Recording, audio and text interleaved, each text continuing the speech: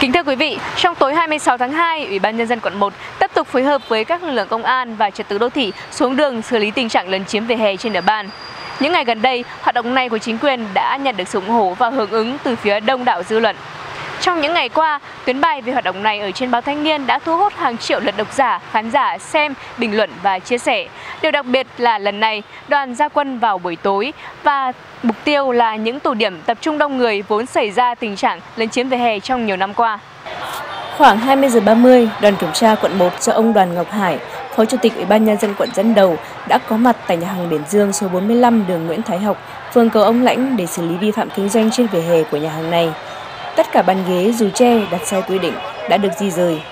Tại nhà hàng Ngọc Sushi số 43 dệt 1, đường Nguyễn Thái Học, đoàn kiểm tra đã cho tháo dỡ hàng máy tre, bậc lên xuống, rào chắn và biển hiệu được xây dựng, lắp đặt sai quy định trên vỉa hè. Đoàn cũng đã cho di rời hai tượng sư tử đá được đặt không đúng quy định trên vỉa hè khu vực này. Tại nhà hàng Con Gà Trống số 342 Võ Văn Kiệt, đoàn kiểm tra đã cho tháo một mô hình gà trống, phá rỡ và di rời nhiều chỗ cây cảnh đặt sai quy định trên vỉa hè nộp thuế nhiều, nhà nước rất trân trọng, nhân dân rất trân trọng những ai nộp thuế nhiều. Nhưng mà không phải vì nộp thuế nhiều mà em muốn làm gì thì làm.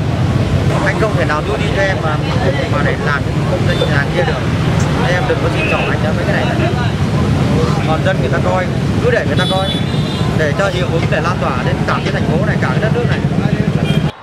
Tại một quán ăn ở số 324 Võ Văn Kiệt, đoàn kiểm tra đã tạm giữ một xe đẩy lấn chiếm vỉa hè, đồng thời tháo rỡ hai mái che được lắp đặt sai quy định. Trước số nhà 236 Võ Văn Kiệt, đoàn kiểm tra phát hiện một ô tô đậu sai quy định trên vỉa hè. Xe ô tô này đã được di rời về trụ sở cơ quan chức năng.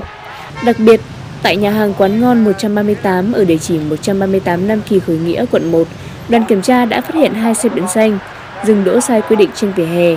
Hai ô tô vi phạm là xe 7 chỗ mang biển kiểm soát 50A 00911 và xe 16 chỗ mang biển 51D 0124. Hai xe này đã được di rời về trụ sở cơ quan chức năng chờ xử lý. Thì những cái biển xanh này thì ờ, dứt khoát là phải đưa về trụ sở bởi vì từ nãy giờ là không ai ra để hợp tác làm việc với cơ quan chức năng. Phải cẩu về. Cẩu về thì tất cả các chi phí cẩu và lưu kho và xử phạt số tiền theo quy định. Nói chung cá nhân nào vi phạm thì cá nhân nó phải chịu trách nhiệm chứ không có bắt tổ chức phải chịu trách nhiệm.